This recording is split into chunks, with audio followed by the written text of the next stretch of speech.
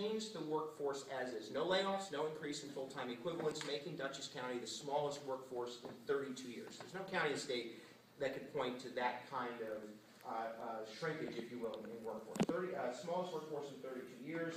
For the third year in a row, we've cut, uh, we've cut county spending. In fact, if there was no increase in mandated county services, we would have, uh, mandated services by Albany or Washington, we would have been able to, in fact, cut spending another $2 million. But because of growth in mandated costs by $2 million, uh, uh, we uh, obviously were not able to cut as much as we would like.